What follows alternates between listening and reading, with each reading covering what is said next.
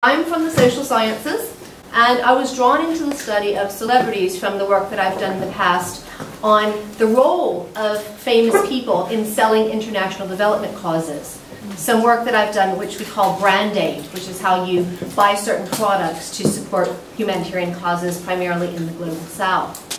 When celebrities become involved in North-South relations, money is pledged, individual and institutional networks are mobilized, and attention is drawn toward particular causes, like Ebola, which previously no one had ever heard of, but deflected away from other causes. I started with the disclaimer that I come from the social sciences, and I do study celebrities because I think it's important to understand them instrumentally to understand something more about society and about politics and power. So our book aims for a better understanding about the relationships of politics, place, and power in grounded studies of celebrity humanitarianism. The first thing is to look at what impact do celebrities have in the global south. And we put the south first. It is a political choice that we made on purpose because we think it is very important when we're talking about north-south relations to invert that power hierarchy and to say, look, we're putting the south up, for, up front because we think it's important. And second, what does celebrity engagement mean in the donor north?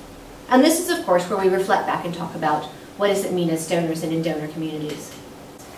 We investigate the importance of place and context as each chapter actually represents new empirical findings on the ground from Thailand, Malawi, Bangladesh, South Africa, China, Haiti, Congo, the US, Denmark, and Australia. Celebrity interventions provide an empirical focus for studying the relations of power that might be reproduced or disputed from one context to another. Most of us will never actually get to interview our celebrities. Mm-hmm. And so the closest that we get to understanding how they work is by coming in through the institutions with whom they mm-hmm. actually collaborate.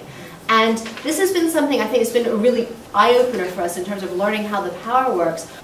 To understand the relationships and the linkages, the misconnections and the transnational flows, we need far more attention to the actual practices of elite leadership in comparative contexts. Thus, our book's conclusions, but not its premises, are critical. Nine substantive chapters illustrate the social structuring of celebrity through institutional forms of life. In other words, the staging of inequality.